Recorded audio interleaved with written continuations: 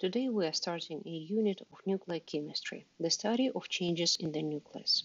Up until now, all chemical reactions that we discussed involved rearrangement of atoms into the new compounds, the shuffle of electrons, but nothing was really happening to the nucleus.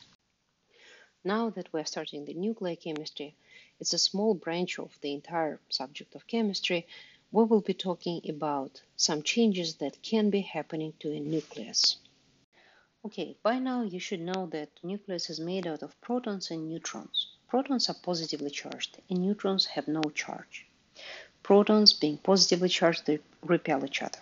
However, they are held together in the nucleus by a strong binding force. A bunch of neutrons provide some sort of stability. They kind of a buffer between all these positive charges. But still, positively charged protons really repel each other quite strongly. It's a delicate balance between the binding force of the nucleus and the repelling force of the protons and the buffering ability of the neutrons that keep it all together.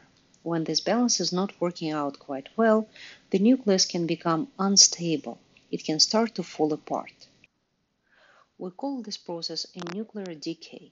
And we start with the alpha decay, when nucleus chips away an alpha particle, two protons and two neutrons. Over here we have a, a, nucleus that has plenty of protons and neutrons in it. It has too much energy for its own good. In fact, it has so much energy that it starts to fall apart to release some of it. So alpha particle is released, and we have the remaining nucleus. Because some energy was released in the process of releasing alpha particle, this newly formed nucleus is more stable. It is lighter, 4 atomic mass units lighter, and has two less protons, so it is no longer the same element it used to be before it started to decay. But still, it's more stable Let's look at this atom of uranium-238. It contains 92 protons and considerable amount of, of neutrons. To be exact, 146. Okay, it is unstable. It has too much energy for its own good. It really will try to get to the more stable version of itself. And one of the ways to do it is chip away alpha particle and uh, release some energy in the process. So alpha particle released, two protons and two neutrons go away in the form of alpha particle. And the remaining nucleus is no longer uranium because it has two less protons. We know that the protons are sort of an ID card of the element. Now we have an element with 90 protons in it. So it's no longer uranium, it is thorium. It is thorium 234 because four atomic mass units disappeared in the form of alpha particle that went away. Okay, let's write a nuclear reaction for this process. I, I will be using isotope notation. Okay, here's the symbol of uranium and 92 atomic number of uranium at the bottom. It's a number of protons in the nucleus of uranium. 238 is the mass number of uranium, the sum of all its protons and neutrons together. Now, this nucleus is unstable, so it decays and produces alpha particle. We will use the Greek symbol alpha, and at the bottom of it, we will put number 2 because it contains two protons. So, and at the top, we are putting number 4 because it is the mass number of the alpha particle. Two protons and two neutrons are weighed together four atomic mass units. Okay, what is left behind?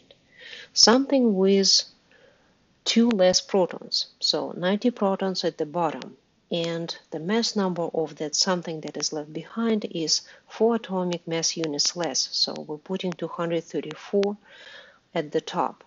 The moment we know the atomic number of an element, we know what element it is. Number 90 tells us this, this element is thorium. Alpha particle might be represented with the Greek letter alpha, but even more frequently it is uh, represented with the symbol of helium, like this. It is because if you think about it, helium, when we look at the nucleus of the helium itself, it has exactly two protons and two neutrons. So the alpha particle looks exactly like a nucleus of helium. A quick way to check if your uh, nuclear reaction is written correctly. We have 92 as atomic number on the left, and if we add those two numbers at the bottom, that will be 92. And we have a mass number 238 on the left, and if we add those two numbers over here at the top, we will end up with 238. No matter how you decide to write your alpha particle with the Greek letter or with the symbol of helium, it's always supposed to have 2 as its atomic number and 4 as its mass number. Pause this video and try to write to finish these nuclear reactions on your own. Okay, here's my take on it. So I need two less protons in this number, 86, and 4 atomic mass units less in this number on top. So we're talking 218. I look up element 86 in the periodic table, and it is a radon.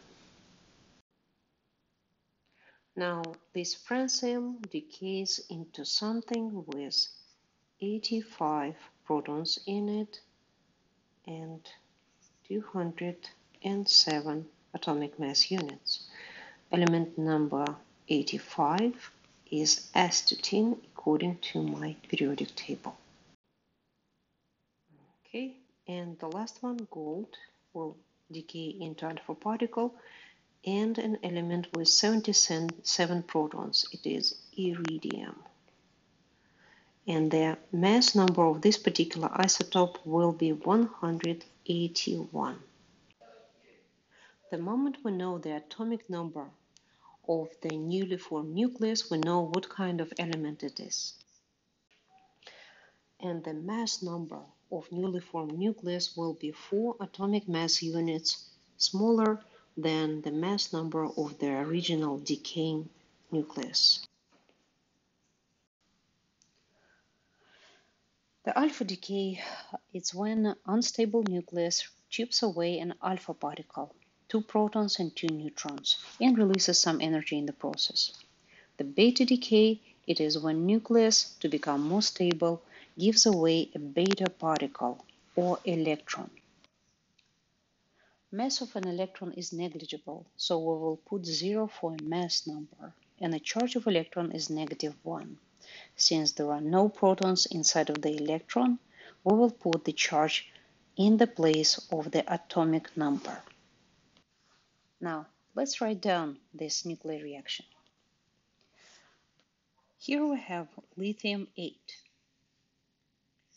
Lithium has three protons in the nucleus, and 8 is the mass number, the sum of protons and neutrons in it.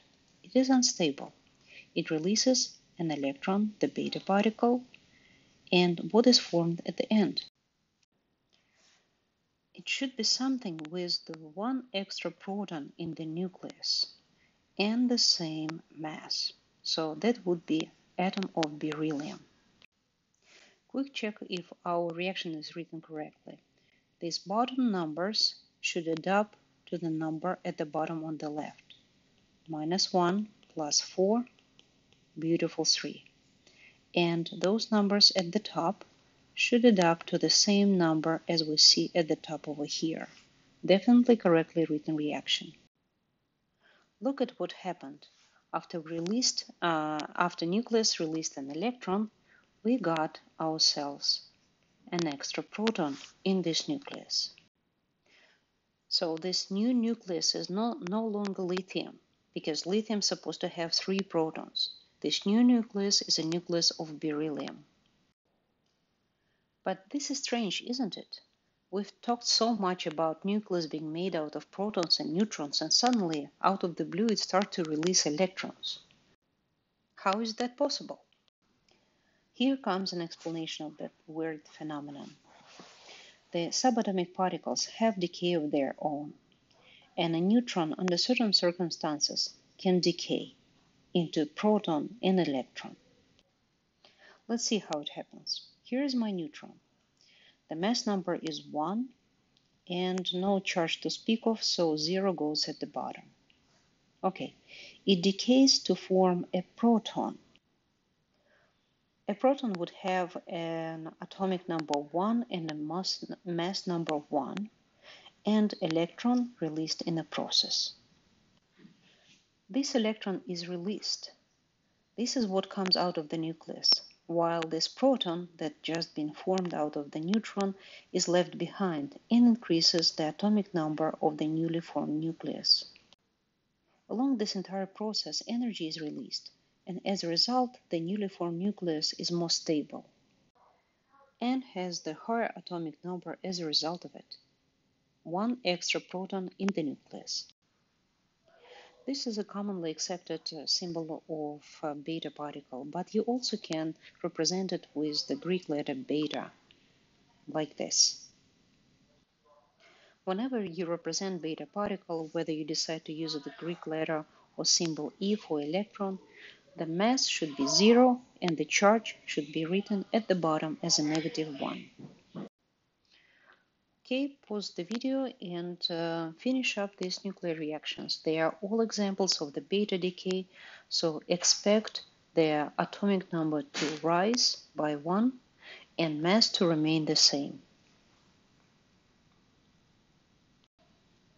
Now here's my take on it. So we're talking about seven.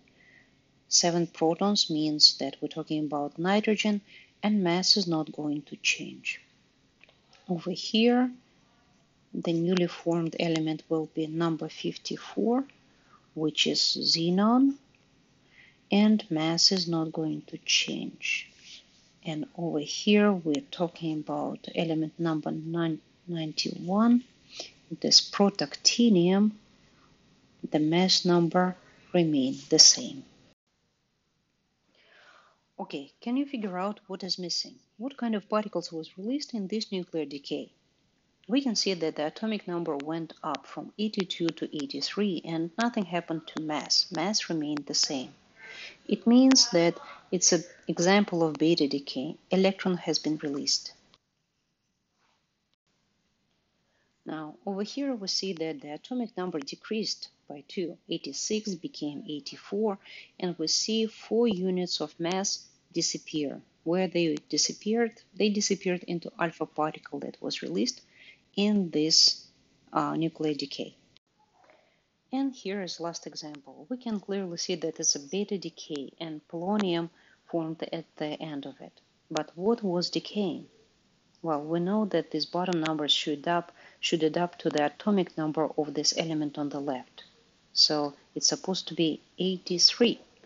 83 elements is a bismuth, and the mass is going of this particular isotope of bismuth would be 210.